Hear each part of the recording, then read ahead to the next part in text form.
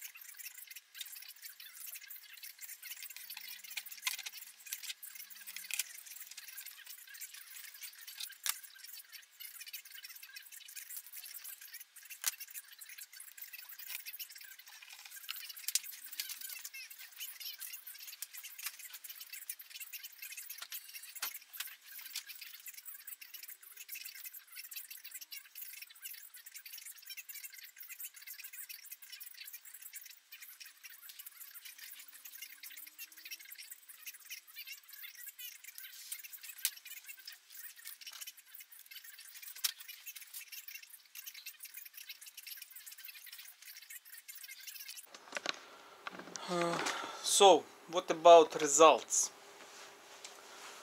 All suspension are rebuilt and changed.